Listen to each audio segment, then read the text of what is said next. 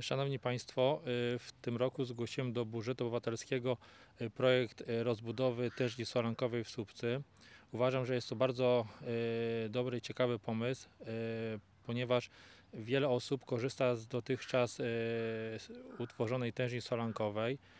Tężnia cieszy się bardzo dużym powodzeniem i myślę, że kolejny taki obieg spowoduje, że jeszcze więcej osób będzie tu odwiedzało tężnię solankową oraz rejon promenady niepodległości. Dokładnego miejsca jeszcze nie wskazałem. Myślę, że jeżeli projekt mm, udałoby się wygrać, to w por- w porozumieniu z Urzędem Miasta y, wytypujemy miejsce, które będzie tutaj najbardziej korzystne dla właśnie stworzenia nowej tężni solankowej.